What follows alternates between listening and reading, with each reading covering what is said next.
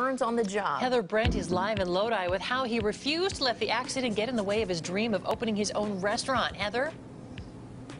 Yeah, the new restaurant's name is Fenix. If you've had, ever heard the uh, myth behind the famous Phoenix bird, it's about a bird who rose out of the ashes after being burned, kind of recreated and stronger than ever.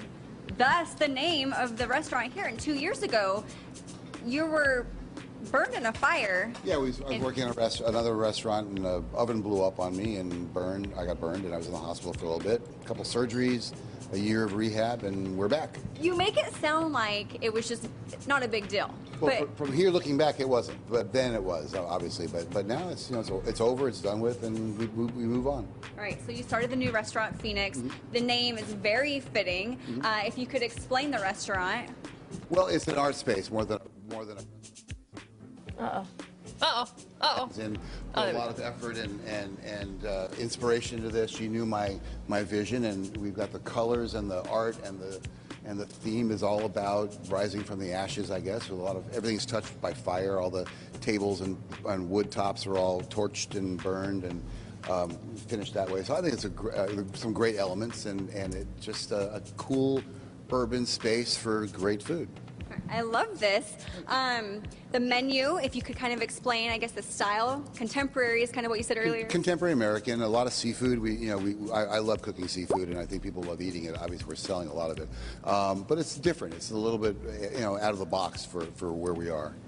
All right, you guys have been open just for a few weeks now. How has business been? We opened June 15th, and it's been great guns since. We haven't stopped since. It's been great. We've been really well received, and, and we're, we're, we're very thankful for that. It's uh, it's been an awesome start. All right, I want to bring you guys back into the kitchen. Let's find out what the uh, sh- other chef is cooking back here. This looks amazing. Smells amazing too. Oh, it is great.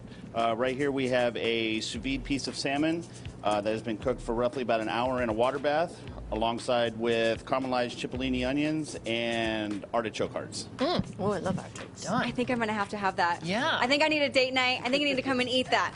Okay, so you guys are serving up just a dinner menu for now. Right, right. We're open at five o'clock uh, to Sunday. And great bar, lots of great wine lists, a lot of local wines. Uh, we use local ingredients, and it's all just good product. Okay, I've got to ask you. Okay. If you could give advice to anybody, because earlier you said, now looking back, your struggle wasn't so hard, but back then, looking forward was difficult. So anybody who's going through something hard, what would you tell them? It it, it, it ends. You know, you you, it, it, you get over it, and and you just got to push on. The wounds heal for the most part. Yeah, yeah. I mean, there's still reminders, but we we, we just persevere. All right. All right, come on down to downtown Lodi. Check out Fenix. Amazing in here, you guys. Great little date night, dinner.